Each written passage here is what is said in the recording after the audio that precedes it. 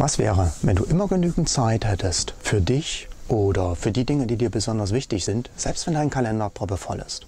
Hallo, mein Name ist Mike Leckis von Passion Profit und ich möchte mit dir heute gern darüber sprechen, wie du dich ein für alle Mal von der Knechtschaft deines Kalenders befreien kannst und das auf eine sehr einfache Art und Weise. Doch bevor wir das tun, habe ich eine Frage an dich. Schauen wir einfach mal zurück auf die letzten, sagen wir, sechs Monate und stellen wir uns vor, dein Kalender wäre ein Auto. Warst du dann in den letzten sechs Monaten der oder diejenige auf dem Fahrersitz? Also mit der vollen Kontrolle darüber, wie du fährst und vor allen Dingen, wohin du fährst. Oder hast du dich eher gefühlt wie auf dem Beifahrersitz? Ja? Ständig so ein bisschen unzufrieden über den Fahrstil und äh, überhaupt nicht einverstanden damit, wohin die Reise geht.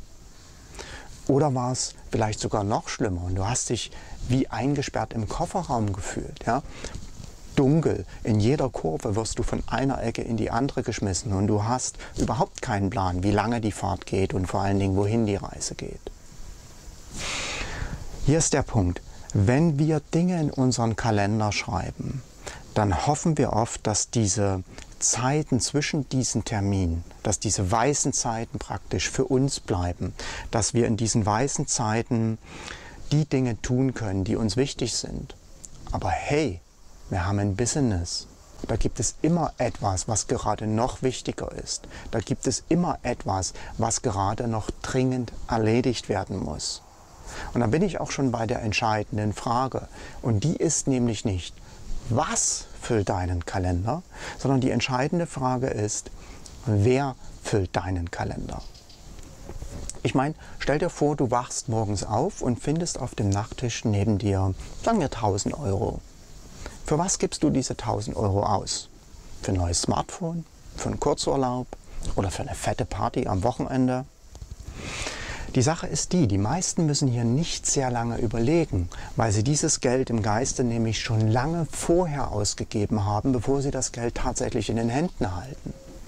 Doch wenn es um unsere Zeit geht, wenn es um unseren Kalender geht, machen wir uns diese Gedanken nicht. Wir lassen uns treiben und hoffen, dass die Zeit, dass die weise Zeit übrig bleibt. Für uns, was wie gesagt nicht passieren wird. Doch genau hier musst du den Spieß rumdrehen. Du musst dir vorher überlegen, wie du deine Zeit verwenden willst und das dann in den Kalender schreiben.